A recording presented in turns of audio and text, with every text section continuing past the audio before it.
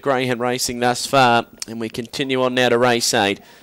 Seamus Ellen to run favourite from box six, drawn to get a good run. A hard railer, quick beginner, he's inside in Punch It. Last of them going in. And they're all in now, race eight. The green light, favourite from box six, daughter of Bekim Bale. They're set.